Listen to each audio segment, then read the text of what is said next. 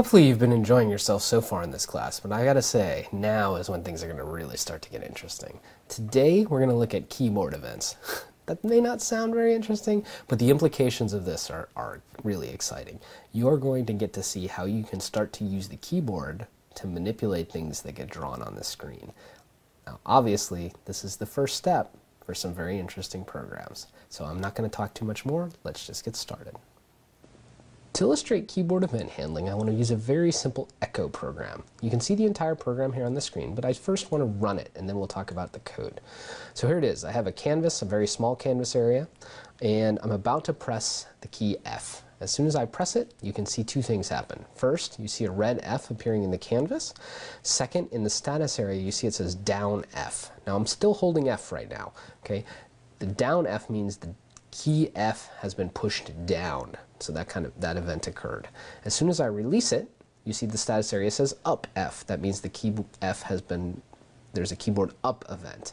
Okay, and you'll also see in the canvas I've stopped drawing it. Now I can push H down, up, J down, up, and you see what happens.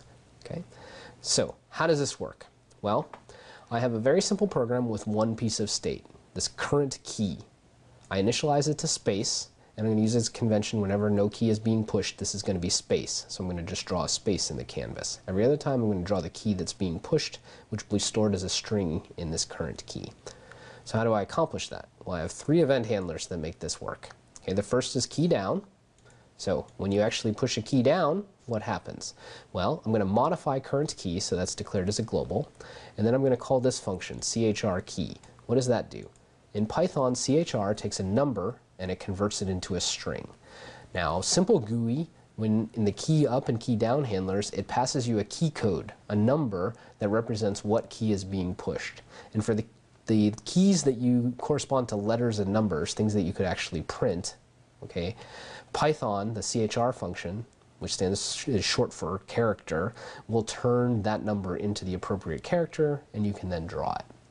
Okay, so I'm going to set current key to that character. On a key up so when I'm done pushing the particular key, no matter what it is, I'm going to set current key to space. Now why does this matter? In the draw handler, which is simple GUI is going to call 60 times a second to update the canvas, you can see all I do is draw text. I draw whatever in current key. I have a list that tells it where to draw it at point 1025. I said use a 20 point font and color it red, right? And that's why we saw the character show up. It's painting the text that's stored in current key, which these two event handlers, key down and key up, have made sure corresponds to the key that's actually being pressed. I then create the frame. I use a pretty small canvas because we only have one key.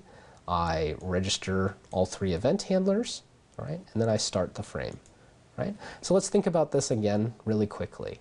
What's happening? All right. When I push the key, Simple GUI says there's a key down event. Is there a Python function registered to handle this? The answer is yes. It's called keyDown. It calls it with the key code for G. All right.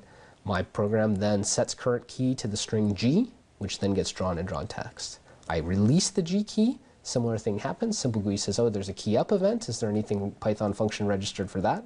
The answer is yes. It's called key up. It calls key up. That sets it back to space. The draw handler is being continuously called by Simple GUI, and it just draws whatever is in current key. I want to point out one more thing about the status area. We know that if you push a letter, it'll say down S, up S when I put the, push the S key. When I push a key that is not a letter or some normal printing character like the shift key, you'll see it says down up bracket 16, the control key, down up bracket 17. The numbers inside of the angle brackets, those are the actual key codes. So for keys that you can't easily talk about, you can just try it out, push them, and figure out what their key codes are to use them in your program. Let's take a look now at a more interesting program. This program, I want to control a ball on the screen with the keyboard. Now if you look in the status area, you can see that I am pressing the arrow keys on the keyboard. Down, right, up, left.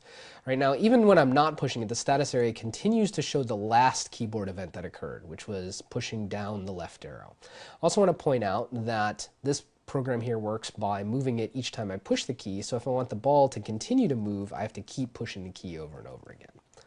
All right, so how do I do this? Well, here's the whole program. We have some global variables that tell us the size of the canvas and the radius of the ball. We have an important global variable here, ball pause, which is the current position of the ball. We start that out in the center of the screen. We have two event handlers. We create a frame. We uh, set the register the event handlers, the draw and the key down handler, right? And then we start the frame. All right, the draw handler is pretty simple. It's just a single line that draws a circle on the screen, and it draws that circle at ball pause. So as long as ball pause doesn't change, the circle will remain at the mi middle of the screen. Okay, the workhorse of this program that controls the position of the ball is the key down handler. Key down handler takes as an argument this key. This is actually a key code. This is not the letter that you pressed, right? There's no letter that I can give you for the left arrow, for instance. Okay, so it gives me a key code.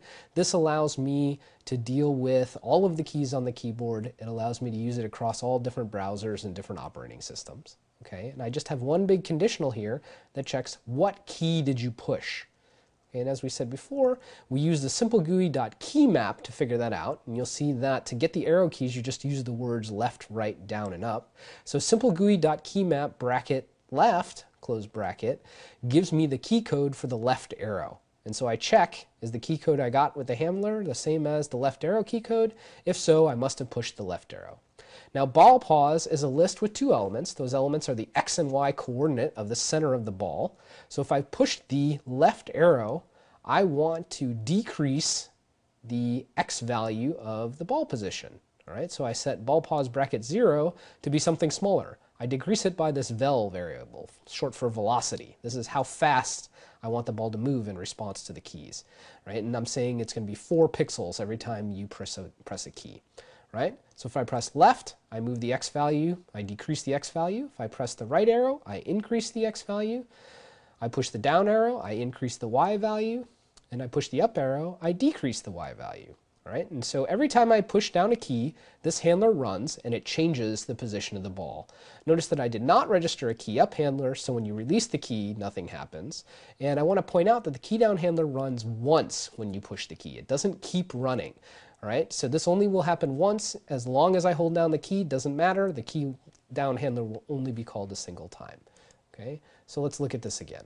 So if I push the key down handler, or the key, the down arrow key, the key down handler happens once, and then the ball doesn't move. Right, I'm still holding the key down now. I let it up, nothing happens. I push it again, it moves again. I just keep pushing it, keeps moving.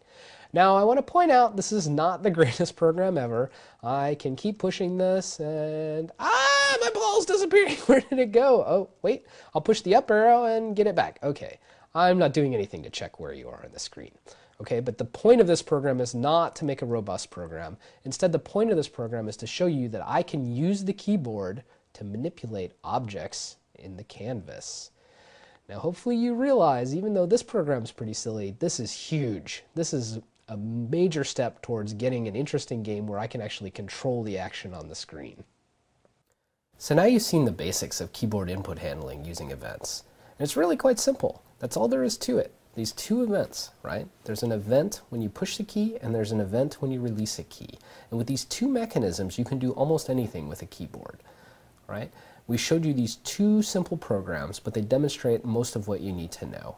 And I want you to take these programs and play around with them. This is a new concept, so I think it's important that you run these programs in CodeSkulptor, you use them, and you make sure that they behave the way you expect. And if they don't, look at the code and try to figure out why. Right? I'm going to tell you that the Echo program doesn't work very well if you push more than one key. Okay, so try and do that and figure out why it behaves the way that it behaves. We haven't told you quite enough yet to fix it, but I want you to understand why. So I encourage you to play around with it. Now as for the control program, we showed you how to use the keyboard to move a ball around on the, on the screen. Pretty soon we're going to show you more interesting and sophisticated control mechanisms, and then at that point, you're really going to be able to do some powerful stuff.